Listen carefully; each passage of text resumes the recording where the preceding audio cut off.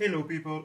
So since the, the first video I made about uh, upgrading the new firmware in the antenna track it was not that clear because you know my English sucks so I do my best. Here I'm a, again, I will shoot a video again and trying to be uh, to make things much easier. It's not that hard to do this uh, upgrade, just need to follow basic steps. So uh, first of all, uh, what we do, I will put link in the description on uh, my YouTube channel for the Dropbox. Uh, okay, got Dropbox, where actually you can find the the file that you need to do the the upload.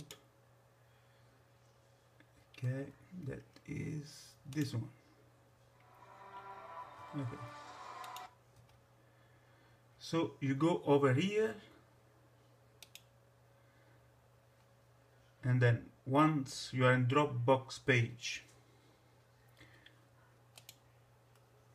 first first thing you have to do you have to install the driver to let the the module the unit to communicate with your computer. So those are the driver you choose which one you need XP or Windows 7 uh, we go back. Once you install the driver you also got the the manual the PDF manual that you can uh, use and uh, see if I'm not clear enough you can check the the manual. Then you have to install this program. This program allows you allows you to uh, first get the serial number of the units and second to uh, upgrade upload the firmware the, to the units itself. So once you have installed this program, it should look like this. okay. So first thing, we start with air module. Okay, you see air module just over here. You've got a, a tiny port on the back and you got an adapter and the FTDI so this is pretty uh, simple.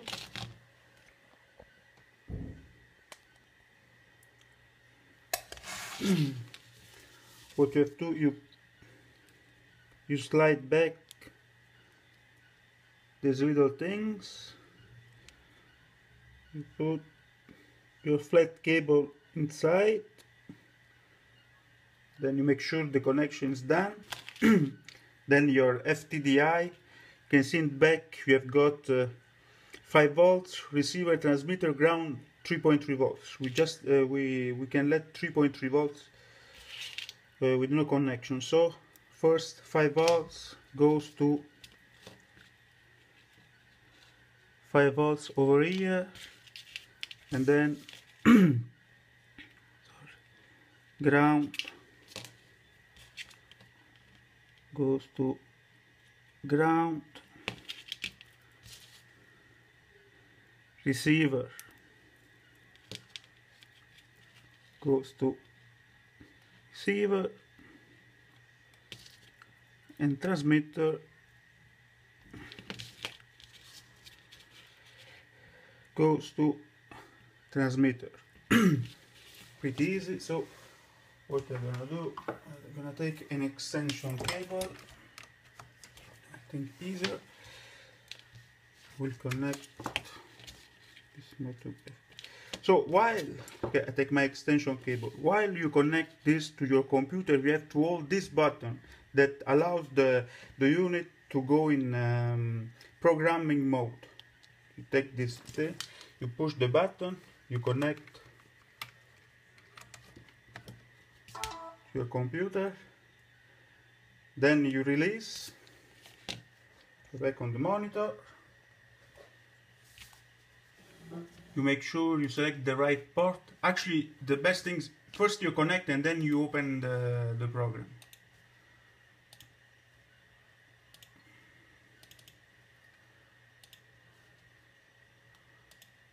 so as you can see is on the right port so you you do you press on read chip info.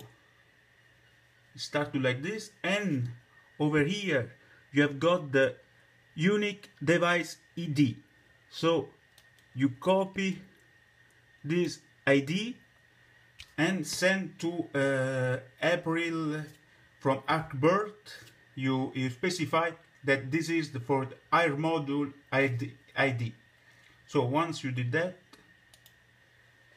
go back disconnect. The okay so let's go back here. Now we got your ID you disconnect your air module and we go to connect the antenna tracker and we do the same things. Here we got the port you take out these things okay to connect this one it's pretty easy. So you can go on the manual and uh, you will see which which were are the ports so like before it's not that complicated. Not it's not that hard. Just put over here so according to the manual it's pretty easy. 5 volts. 5 volts going to the first one. Then the second one receiver is the third one. Transmitter is the fourth one and ground is the second one. Okay let's make sure the connection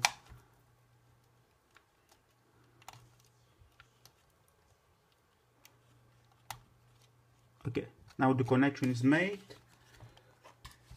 So like before what we do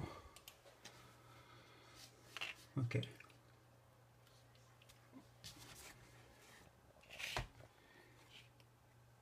in the back here. You can see it's small button. Just in the back of the port you press the button while you reconnect to your uh, your computer. We connect this to the computer. You will hear the it's ready. You release the button. You open the, the same program.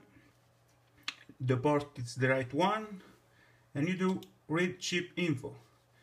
So here we go. Now you got the unique device ID of the antenna tracker.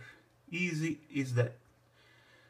Okay once we have got the two uh, ID as I said before you make sure that which one is the ID for the module and which one is the ID for the antenna tracker and send that to the Arkbird customer service so once they got that within 48 hours they will send you back the right firmware. And the firmware should look something like this. They look like this. Their file it's right like AAT airborne and the version this one is the old version and uh, the other one it's like AAT ground with the version .x so that mean those are the the two um, that's the, the, the, those are the two uh, firmware file that we will upgrade. So the way you do it's like before. You take your power unit. While you press your button you connect to your computer.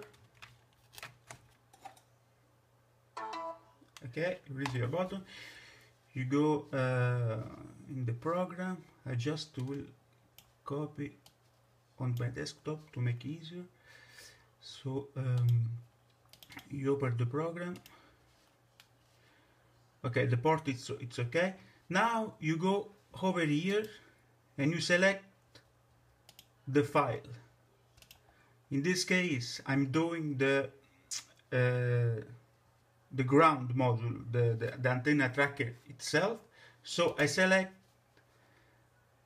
the this file, I go open. Once you have done this, you just have to push start EISP and job is done. I will not do now because those are the old firmware and already update my firmware. If I can help uh, with something, if you don't understand, just let me know. I will try to help you out with this. It's not really complicated. Once you have done this uh, new uh, upgrade, uh, you you will be able to use uh, both camera, NTSC, and PAL camera. So uh, that's it. I hope it's more clear now. Thanks.